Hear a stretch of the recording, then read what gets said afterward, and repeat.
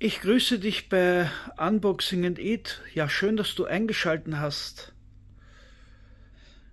Heute möchte ich mal über Spuso und seine Verträge sprechen.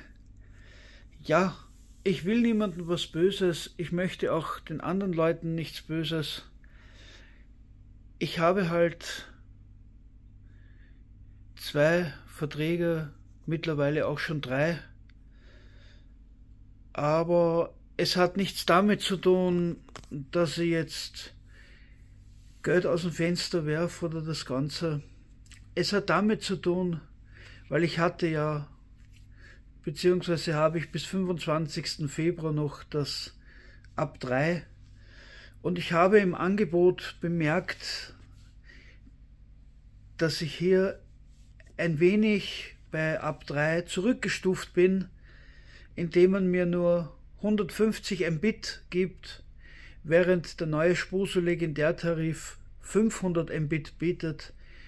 Und ich habe mir beschlossen, seit letzter Woche schon, dass ich das ab 3 einstelle und es durch einen dritten Spuso-Vertrag ersetzt habe.